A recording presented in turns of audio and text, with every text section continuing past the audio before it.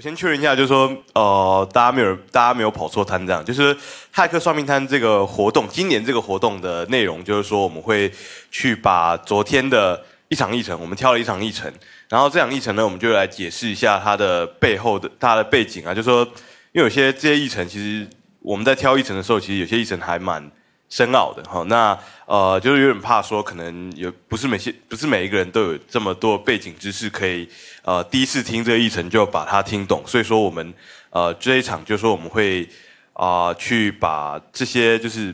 这个先修课的内容哈，先把它拿出来讲一讲，然后再把这个议这个议程就是重播，然后让大家尽量让大家呃就算是初学者也有办法懂这个议程。对，那。往年的话，骇客算命摊曾经有各种不同的活动啊，曾经有一些什么选秀活动啊，或者聊八卦活动。那呃，今年不是，今年只有做一层讲解，所以就是怕说大家呃很期待来这边听八卦，但是对，今天没有八卦，今天只有就是一层讲解这样。对，先跟大家确认一下。那再来，我自我介绍一下，我叫 John 啊，就是另外一个昵称叫 Zuan。那我是今年的申奥委员会的呃主席。那呃，就是我今年我。挑了第一天的议程里面，我觉得这一场是呃蛮有意思的，对，那所以说就跟大家来，就会今天来跟大家讲解这一场议程这样子，对，好，那呃这场议程的话，就是说他在他们在做一个，就是说呃这家这一家他们这两个讲者，其实他们本身在做的事情，就是说要对应 IP 对应到位置这件事情。那 IP 对应到位置这件事情的话，呃。网络上有很多那种资料库嘛，那他们就是其中一家维护这种资料库的的算是公司吧，对。那他们在维护这资料库的过程中，他们就需要去跟这个 ISP 啊，就中像中华电信之类的这种，他们背后的，他们就需要跟他们这样打交道，然后从他们背后的这样 BGP 的这个 protocol 去观察说，呃，到底呃哪一家哪一家 ISP 说这个。流量要流到哪里？这样，就他们要观察 BGP 上面的活动，然后来来这个知道说哪个 IP 在哪里。那在做这件事情的时候，他们就发现了呃很多案例分析，他们就发现了很多这个 IP 地址被盗用啊，AS number 被盗用这些事情。对，那呃在讲就是说在在听这一层之前的话，我们必须要先知道什么是 BGP。那什么是 BGP 这件事情的话，就是说举举个例子来说，可能。呃，大家 IP 都很熟嘛，就说 IP 可能 IP 网段是什么什么一九二一六八点点零点一这种，这有人不知道 IP 什么吗？没有哦，有人知道 IP 什么吗？哦，好，很好，还好，没有睡着，好，现在还很早哦，对吧？好，那呃，就说举个例子，他说你家里架了一个哦，这个路由器好了，哦，那你的 IP 是一九二点六八点零点一。那假如说你要上网的时候，OK，你要上网，你电脑要上网的时候，它可能就有另外一个 IP，好，可能一点二点三点四，它就它它它想连一点二点三点四这个 IP，它就会把这个封包送到你的路由器。那你的路由器的话，一般呃一般如果你家里网络没有很复杂的话，就是送到中华电信嘛。那你的内网就会，你内网里面就会看说，OK，如果是一九二点一六八点零开头的，那我就送回自己家里面。那如果说其他的我不知道的。我就会把它往上送，送到中华电信。那剩下都是中华电信的事情那可是，假如说今天你是中华电信的话，OK，你是中华电信的话，那你看到每个 IP，你可能要说，哦，这个 IP 可能是要往送往这个教育部网络的，哦，这个 IP 可能要送送往美国的，那个 IP 可能要送往欧洲的。但是，这之间怎么设定？就是 ISP 之间怎么设定？他们该不会是每天都每天都就是打电话打电话到欧洲说？哦，欧洲的打电话来讲说，哎，我这这个 IP 是我的哦，哦，这个 IP 是我的，你有这个 IP 的封包，你帮我送过来哦，不是这样吧？对吧？所以它背后就有一套叫 BGP 的东西，BGP 的东西就是呃各个 ISP 之间的这个 P2P 网络，类似一个 P2P 网络这样的东西。那 BGP 的话，它就是这些 ISP 之间，它透过 BGP 的协定来啊。怎么讲？就是互相设定说哪一个 IP 要走哪条路这样子。那这个协定其实算是蛮复杂的。那呃，我们看一下哦。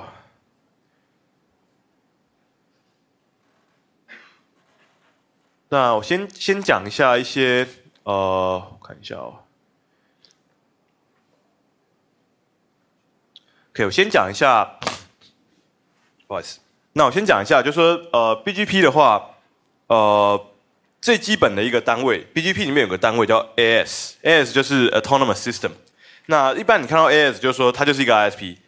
就是说你在网络上呢，只要任何一个你把一个封包送到一个 AS 的话，那啊它就有办法就是联络到这个 AS 里面的任何人。所以像中华电信的话，它就有一个 S。其实中华电信不止一个 S，但是一般来说就是说像中华电信，我们可以把它当做是一个 S。那可能呃，Google 脏话资料中心，我们可以把它当成一个 S。那呃，教育部网络也可以把它当做一个 S。那这个 AS 的话是说是有注册的，所以每一个每一个 ISP 它其实背后都有最少一个 AS。然后这个 AS 每个 AS 的话，它会有一个 AS number。所以举个例子来说，你可以去查。可以举个例子来说，像我们现在的话，那现在的话。呃，就是如果平常你要查说说你现在连上网的这个装这一个这个 ISP 它的 AS 是什么的话，你其实可以去 BGP 点 HE 点 net。那你连上去之后，OK，那就会告诉你说你现在 IP 是多少嘛？那不好意思，那会告诉你说 OK，你现在这个你的 IP 这个网段，然后你的 AS 是谁？所以像现在我们是透过这个 KickClic 嘛。这就是这家我们我们这次会场的 WiFi 提供是是这一家嘛，所以你可以看到说这是他们自己的 S number，对他们 S number 是一三一六四五。那再来再来另外一个点是说，呃，就说我们平常在设定 router 的时候，我们不会什么一九二一六八点零，然后点零点多少嘛？那这个的话，我们就会把它写成什么一九二一六八点零点零斜线二十四，意思就是说它所有一九二一六八点零开头的 IP 都是这个网段嘛。那或者说我们会另外一种写法，就是一九二一六八点零点零斜线二五点二五点二五点零，OK。那呃这边的话，呃网络上的 IP 它也是一样的，一样的格式设定，所以这边一零三点一四一点八三点零斜线二四，意思就是一零三点一四一点八呃点八三点零，就点那个点后面点零可以是任何数字，这个整个网段。那呃 BGP 里面的话，在对 IP 在对 IP 做操作的时候。呃，的基础单位也是像这样子的网段，所以呃，在 BGP 里面的话，在 BGP 里面的话，会有一个一个 AS，就是一个个 ISP。那每个 ISP 的话，它会有一些网段，所以今天他会做的事情就是说，呃，例如说中华电信，它或中华电信它 IP 可能是一点二点三点任何数字，好，那就是一点二点三点零斜线二四，那它。如果说他希望说任任何人有这个到送到这些 IP 的封包都送给中华电信的话，他就会透过 B BGP 去做一个 announcement，他就 announce 说，呃，他就会跟他所有有连线的人讲说，OK，一点二点三点零斜线二十四，通通都要送给我这样子。那接下来 BGP 它的它就像个 P2P 网络，例如说中华电信它可能啊上一层。他可能送给 GTT 好了，OK，那 GTT 就会跟他所有有连线的 ISP 也讲说，OK，如果有到一点二点三点零的斜线二四的 IP 的的封包，通通都送给我。那送给我之后，呃，我就会把它转给中华电信，然后他就会讲说，OK，这个路径是先到我，再到中华电信这样子。然后其他的每一个电信，每个电信商，他后面一样，他也会再继续。跟他其他的 peer 讲说，OK，有中华电信的封包要送给我，然后再送给 GTT，可能再送给中华电信这样子。好，那所以说这一个动作的话，就叫一个，诶，就是叫一个 IP prefix prefix 的 announcement，就 announce 说，OK，这个这个 IP 要送送给我这样子。对。那呃，实际上来说，一般的网络架构啊，一般的呃，对，一般的网络架构的话，就是说会有这种，比如说 Tier One Network，就是那种。呃，运作那些跨国的、跨国的海底电缆或者什么之类的，呃的那种大型运营商，所以说有时候像中华电信，它还是会去跟这种大型运营商买买买流量，就等于是 ISP 的 ISP 这样子。那呃，一般来说在 announce 的时候啊，如果说是呃 ISP 的 ISP 的话，那那种例如说 GTT，它可能就会给中华电信，它可能它在 announce 给中华电信的时候，它就会给它完整的。就全球的各个 IP 的 BGP route，他都会给给他，对，就是说，他就会跟他讲说，例如说 GTT 的话，他可能给中华电信的 BGP announcement，他就会跟中华电信讲说，呃，全世界各个各个 ISP 的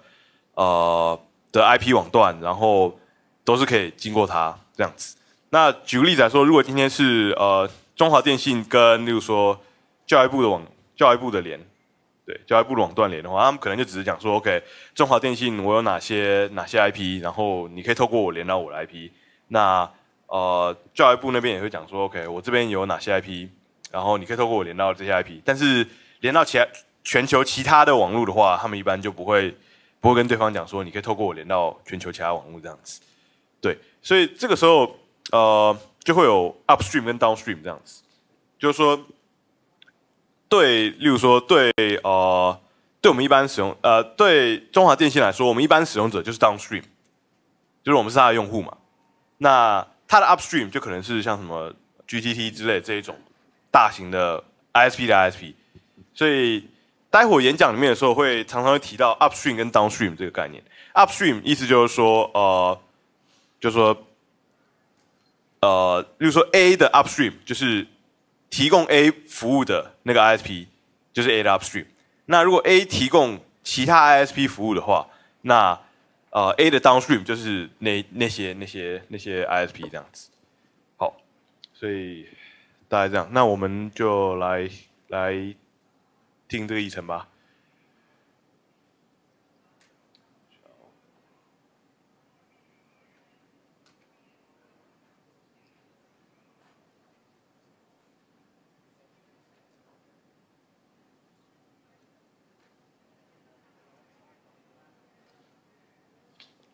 OK 啊，待会一开始会先讲说，就是说以前 BGP 的 hijack，就是以前 BGP hijack 的案例是有有哪一些这样的状况？呃，四 G、五 G 的一些这种呃 roaming，包括说做广告领域也是非常的常见。Router，你有自己的 S number，你可以在 router 上去配置那那些 BGP 的命令，你其实都可以去 hijack。这是一个可能在新闻上大家觉得。呃，没有那么简单的事情，但是实际上就是两个命令行的问题。OK，那所以由于它原来这个协议的缺陷呢，那其实现在整个 industry 在呃找了很多的方式去 fixed，那大家会。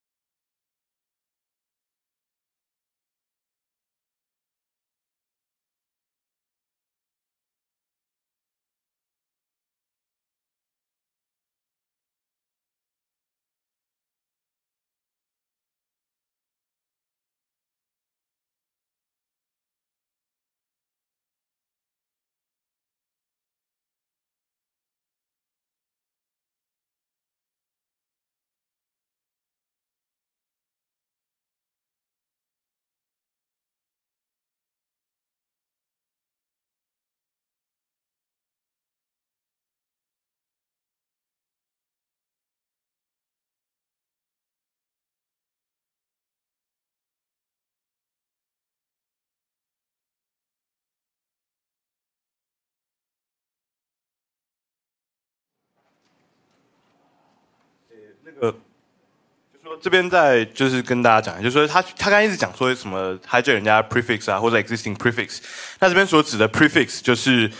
像刚才讲的那种什么一点二点三点零斜线二四这种，那这种就是 prefix，那它不一定是斜线二四，有时候可能斜线十六，有时候可能斜线二十，反正这一种这一种的话，他们在做 BGP 相关的话，他们的统称都是叫做 prefix，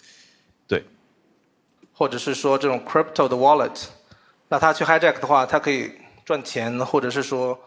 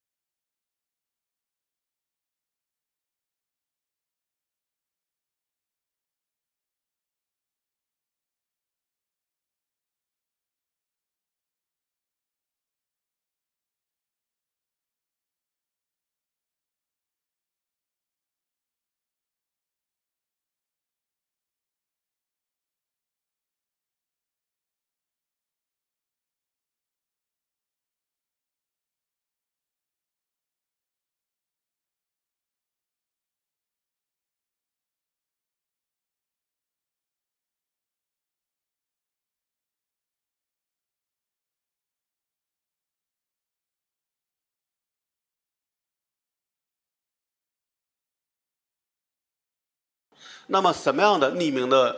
访问最好呢？就这个 IP 跟你。呃，这边提一下，就是说他刚才有一直有提到说，就是说是你们那个 IP 是谁的啊，或者说 IP 可以买卖什么之类。那这个背后是说，就说呃，其实 IP 是有一个国际上叫 INA 的组织在分配的。那分配的时候，一般不是直接分配给各各地 ISP，它直接分配给就是每一个州有一个，像呃亚太地区有一个 APNIC，那美国有个 ARIN，那他们是直接分配给这种。这种区域性的组织，然后，例如说台湾这边的话，可能就是有一个 TWNIC，TWNIC 就是台湾这边的，算是台湾的点 TW 的这个是他们负责，那台湾的 IP 也是他们负责的，那他们就会直接去跟这个 APNIC 直接一次申请很多的 IP 来，然后之后在中华电信再去跟 TWNIC 申请这样子。那所以以前的 IP 的分配是这样子一个方式，然后直到最近 ipb four、IPv4 的这个呃分配就是不太够的时候，那这时候呃。就会有 ISP 之间开始买卖 IP，就说 OK，我今天把这个 IP 网段就以后就让给你，那就是大家之间就是付多少钱这样，然后去去交换 IP 这样子。所以嗯，对，那所以 IP 的话，它其实是背后是有算是有点像政府组织这种在在做一个做一个分配。所以说呃，但是有时候就像他刚才讲，就是 BGP 上面的设定，有时候可能跟呃这个政府文件上面的对不起来这样子。嗯，好，一点关系都没有，甚至可以天天去变的。那包括下边要说的像。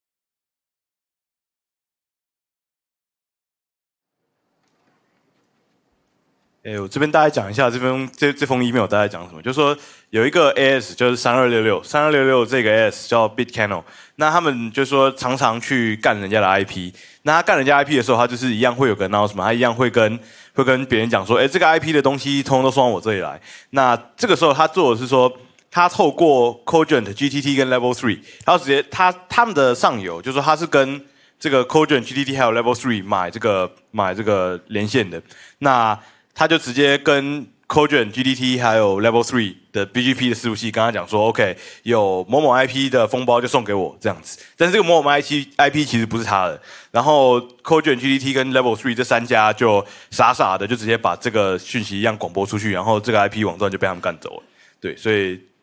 这封 email 在讲的是这件事情。有我们觉当然说没有什么证这个证据啊，就是确实我们觉得可能要么就是你审核。审查不严，要么就你通了核物，尤其是很多的小的运营商，其实没有那么多的顾忌，对他那来说，反正我到时候真出了事我也可以甩锅，对吧？那其实他们就没什么顾忌。那么，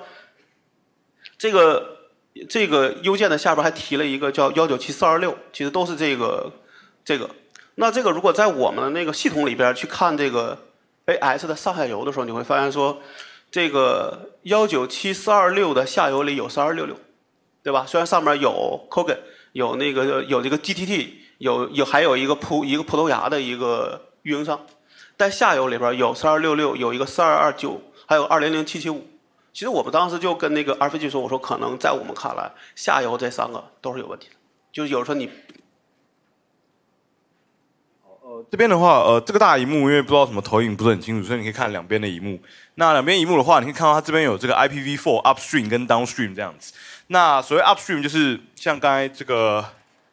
呃，看一下啊，对，像刚才这样子的话，举个例子来说，可能呃，今天这个它这个这个 AS 可能是这一个，好，可能是这一个。那它的 upstream 就是上面那个 Tier One Network，downstream 就是下面这个 Tier Three Network 这样子，就是说，呃，就有点像中华电信，它可能提供呃，今天我们的这个 WiFi 服务商 KeyClick，那 KeyClick 就是中华电信的 downstream，那中华电信可能。对外连线是走，就是说 Cogen 那一样，就是 Cogen 就是它的 upstream 这样子，所以呃，啊，往哪去？OK，好，那所以他这边就列了他 IPv4 upstream。那像他刚才有讲 Cogen 跟 GTT 嘛，那这两家算是蛮大家，那这个是应该只是一个葡萄牙，这个我这一家我不是很确定，对吧？那接下来讲说这一个 AS 一九一九一九七四二六的话，它。提供了这三个 AS 服务，对。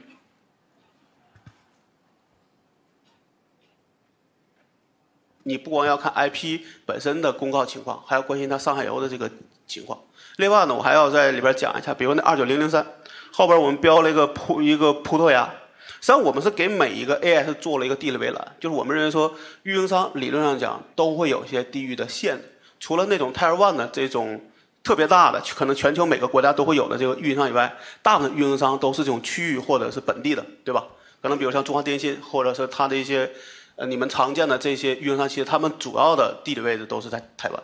那么中国那可能像中华呃像中国电信、中国联通、中国移动，其实大量的 IP 都在中国大陆，对吧？那我们其实要做这个事儿，就是要给每个 AS 做一个地理围栏，这样的话它在发生变化的时候，我们能第一时间看到，并且知道说这个情况是不是这么回事儿。这样子也是我们要把数据做准的一个必然的一个要做的事儿。那么在这个里边，你就会发现说，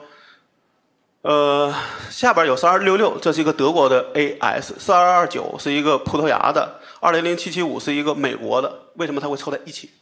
对吧？因为有时候你要能够理解说，这些 AS 本身其实都是每个公司去申请的。那为什么有一个美国的公司会跑到？欧洲去做这个业务不是没有，但是我相信这一定是有它的理由。但是你会发现这个下边是个比较乱的，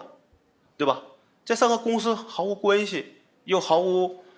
怎么说？你在网你网上可能会，比如说 AS 里边可能会有一个，比如有个邮件地址，对吧？可能是有一个官网的邮件地址，你会去搜，你会发现这个三个要么没有，要么已经对不上，或者说他就说我是一个北美国公司，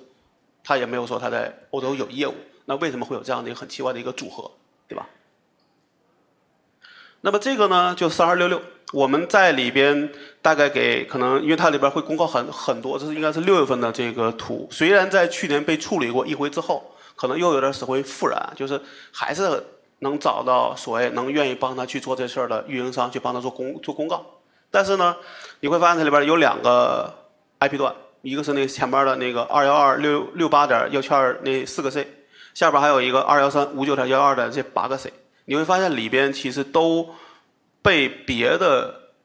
AS 也也同样在公告，对吧？这种在我们看来是说也是就像 YouTube 那次被劫被劫呃被劫持的情况是一样的，就是我的业务有用户来就跟我说有问题。对吧？因为你想，你这个 IP 段一定是在用的时候，那你肯定会去有用户说，你看，因为你的流量被劫持了嘛，你你的很大情况也不是为了去复制同样的流量做同样的事儿，所以很多人你会发现有问题。那有问题的时候，你可能说，哎，我看到情况我怎么办？我要么就是我同样去以更优先级的方案，像比如下面八个 C，你会发现它的把每个 C 都按二四的一个前缀去做了公告，这样的话在路由的里边会是是一个优先级比较高的一个。一个路一个路由，让它八个 C 就没有起作用。一个是方便这样去做，第二方面可能会去找这个 AS 或者 AS 上游去投诉，要求他把这个公告去掉，对吧？好，那我这边解释一下，说这边它其实列了这个某一个 IP IP 网段，这个某个 IP 网段，那这个网段的话，它其实会发现说它有很多 announcement，就是说很多人都讲说，哎，这个 IP 网段啊，把风暴送给我。那这边状况其实发生的就是说。呃，像这边的话，因为字有点小，这边字有点小，你看到说它这是二一三点五九开头嘛，后面是一二二点零，那一二二点零到一一九点二五五是被一个 AS 二零二零七零八三给给 announce 说 OK 风暴送给我，那可是其实这一个是这个是伪造的，就是这个二零七零八三其实并并没有拥有这一广段，并没有拥有一二到一九这一这这一段的 IP。那就说原本的这个 IP 原本的主人他就发现说，哎，我的 IP 被人家干走了，那我怎么办？我 IP 被人家干走的话，我要做点事情嘛。那其实 BGP 上面有个规则啊，就说像这样的 NOS 一一二到一九这一整段，对不对？那 BGP 里面有个规则，就是说你呃大家同样都有 NOS 的时候，比较小的单位的这个 announcement 优先权是比较高的。所以说他们这边就看到做了一件事情，就是说他把例如说，这是一三一四一五一六，它个别都 announce 一遍，说 OK，一三点零到一三点二五五全部要送到原本的那个主人，那一四点零到一四点二五五也会送到原本那个主人。那这时候就是说，呃，因为他这盗用的那个人，他用的是一二到一九，他一次 announce 这整段，所有整段都是他的，那这个优先权就会比呃你只 announce 说哦我。一四一四点零到一四点二五，它的优先权就比较低，所以说他用这个方式就是把它，把它再把流量导回原本的 IP 这个原本的主人这样子，这是他刚才讲的第一种方式。那第二种方式当然就是说，呃，他原本 announce 说这个一二就是盗用的人 announce 一二到一九是要把 IP 送给他的，但是呃，他这个他这个应该是透过某一家大型的这个 ISP 广播的嘛，那就是 announce。所以说，你可以去打电话去那家投诉，说：“哎，你怎么你怎么干这个事情？你要把它撤销掉，这样子。”那么这个里边，你就会发现说，其实如果大家如果在呃外边如果用一些这种 V VPS 的话，第二个我们标了洛杉矶的那个，这就是这个域名，大家如果去访问到，你发现它是一个做 VPS 的一个一个主机上，就是它做了一些云服务，对吧？你可以在上面申请一个虚拟主机，对吧？可以去用。那实际上，它这个里边非就是非常的会关会关注它的流量是不是被劫持了。当然，还有一种可能，它是先被劫持，后去用的时候发现了这个流量是有问题的，对吧？那这个情况都是在我们看来都是一个特别特别呃符合现有的这种这种现实情况的一个事儿。只是我们有时候可能是可能会有点后知后觉，但是基本上就这两种场景会有这个问题，会导致这个结果。那么，包括乌克兰的那个情况也一样。你说一个在一个德国的这里边会会有乌克兰的一个一个一个 IP 去公告，然后呢还有同样的这个呃二零八八九二零八八九四这个 AS 也在公告，那你觉得这种情况会是什么样的？在其实，在里边会有，但是这种情况我们觉得它不会像现在这样会这么频繁、这么密集的去做公告跟撤销，这个是一个非常反常的一个行为。然后还有些例子是刚才讲的 case study 里边有三封有两封邮件，还有一个第二封那 n n log 是我们当时给那个 RFP 做了反馈之后，它这边有补充的，就是我们通过幺九七三二六和三二六零能找到下游所有的跟这个相关的，理论上讲都是拿来发垃圾邮件的。那么这个里面会有你像这个二零五八六九、七八二七、幺九五二九、幺幺七幺七、幺零八零零，你会发现里边有很多的是乌有乌克兰的公司的，有美国公司的，而且这些业务在我们看来你都找不到合理性。在我们看来，他其实连这个 AS 都是偷的，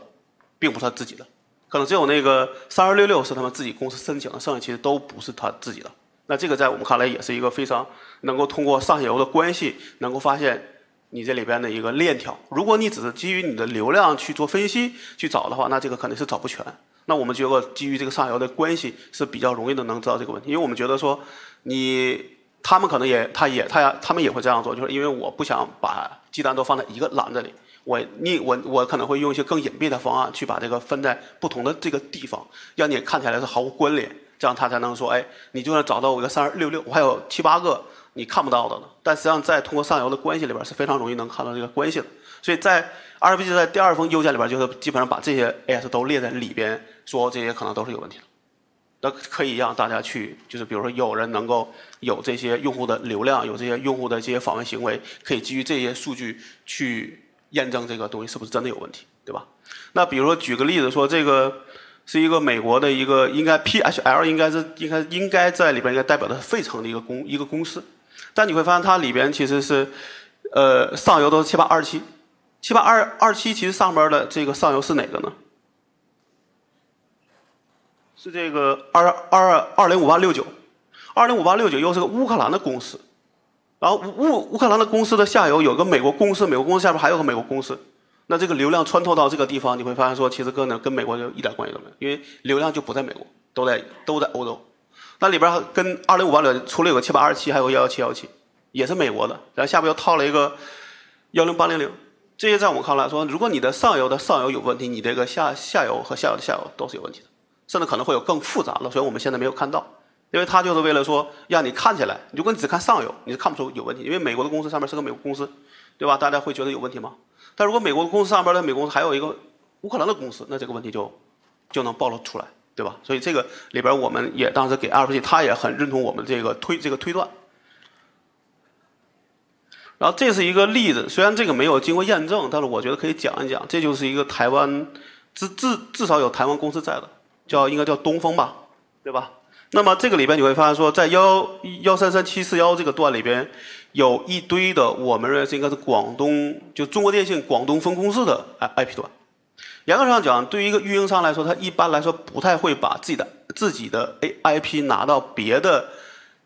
运营商的里边去做公告，因为他如果能有他有能力，他一定能自己公公告，他不会去一般来说不会做转租的事儿，对吧？其实大家能看到很多都是转租。因为他就说，我就为了租一个 C，一年能挣几百美元，我也愿意租。但大公司其实不会在乎这钱，甚至我们也侧面问过中国电信的人，他们也说，如果是这个业务是他自己能做的，他就一定是自自己公公告。那那可能从我们角度上讲，说中国电信大概在全球也可能有十几个 AS，甚至可能有几有几十个，但是绝不会出现在一个香港或者一个台湾那个 AI AS 里面。就我们就现在现在甚至跟我们的同事。说了一个判断，就是凡是你发现中国电信出现了在了一个跟他们业务没有任何关系的 AI 类，基本上我觉得大部分都是有问题的。当然有有两种情况，一种是手误，对吧？就刚才说的这种这种 human typo，它确实是敲错了，我们也不是没见过，对吧？但这种情况一般来说过几天可能都会消失。但是呢，如果是个长期存在的，我们可能说这是有问题的。我们只是没有一个最终的去拿这个用户的这个流量。的行为去做一个盖棺定论的一个方案，但我觉得，而且你会发现这里边还会有新网，对吧？就刚才标了一个新 net，包括里边还有一个呃铁这个辽宁铁通，对吧？这都是我们在中国大陆比较能常见的一些运营商的这些 I I P，居然在台湾和香港的这个段里边都能出现，我觉得这个从从我们的一个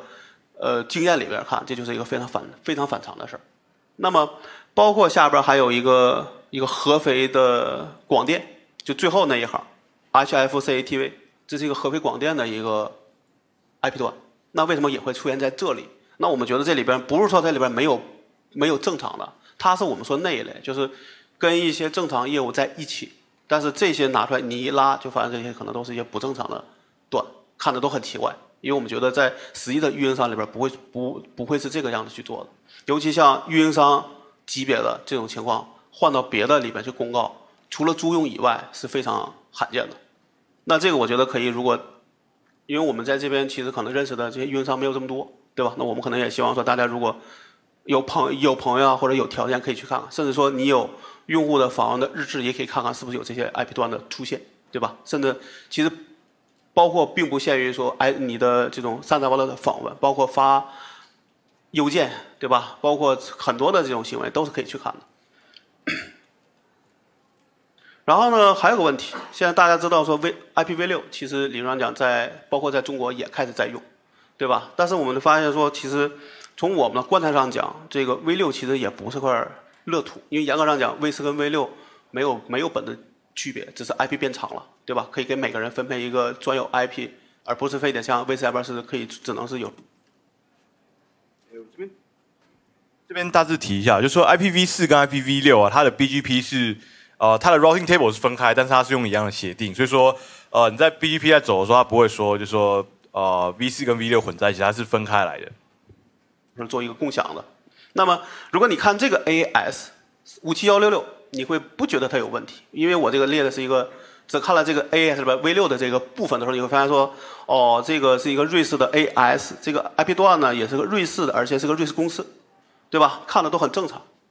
但是如果你配上 V 四的时候看的时候，你就会发现很有意思。二九六三二按我们的一个标准，它就是一个如就是他自己可能不干坏事，当时会给坏人帮忙，就是说他可能会给别人公告。这个里边二六三，我们如果你要看的话，它里边有一堆的都可能是有问题的。那么，为什么在 V 四的这个下边能出现，呃，怎么说？就这个，这个我们认为的一个有问题的这个，而且瑞士跟乌克兰跟德国是没有任何关系的，对吧？我们不，我们不认为这里边就会有一个特别多的一个运营商之间的关系。但是这种情况下，我们觉得这个，这个，这个四八的这个前缀。在我们看认认为很，因为时间时间关系，我稍微把它往前再跳一点。我们这个是这场时间已经快要结束了。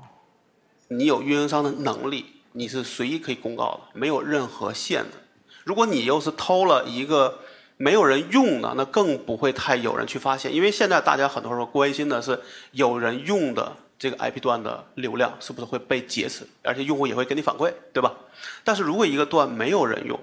你拿来用，因为理论上讲，我相信他们也可能会关心每天的这个 BGP 的公告的情况，在里边找某些段，比如说三个月、四个月都没有人去用，那他们这个段就可以他拿拿来下手，拿来去公告。包括 AS 也会有这个问题，因为我们也天天都会更新我们自己的一个数据。那我相信，对于说有运营商能力的人，他们去看路由的数据也非常轻，也非常轻松。再不能找到这些没有被人用的这个段也是非常容易，甚至他们找的都不是小段。刚才看了四个 C、八 C 的。都是小的，我们看了很多都是拿一个币、两个币开始结的，这样的话它的空间就大很多，对吧？一个币差不多六万个 IP，它能干的事儿就多很多。那么，包括呃下边说的，就有些业务在我们看来，它是在一个正常的 AS 里边公告了一些不正常的 I 这些 IP 的前缀，那像这种情况就更有怎么说更有迷惑性，因为有时候你不好分，对吧？甚至说你只能在里边找到一个有问题，但是因为我们在我们的这个角上呢，能看出来的问题可能比。传统的做做运营商的人，或者做这个网络为运维的人，其实看得更多，所以我希望说这个东西也希望能够让大家引起更多的这个重这个重视。然后这个可能是我们当时跟我们的一些圈子人去分享的时候，他们就问我们，他说为那个这个就这个主要是做这种垃圾的，呃，做垃圾邮件的这种这种黑名单的，它里边有个叫 A I A S N DUP 点 T S D，理论上也是个废的，就是它可能会每天更更新，然后给。所有的这些这个所有的人类说，哎，你就可以把它放到你的软件或者硬件里当做一个黑名单去用。但我们觉得说，它这里边 ASN 的一个一个黑名单跟我们说的拜登还不一样，因为他们可能是从业务上去去看。好，那因为时间关系，我们今天这个这场就播到这边。好，谢谢大家。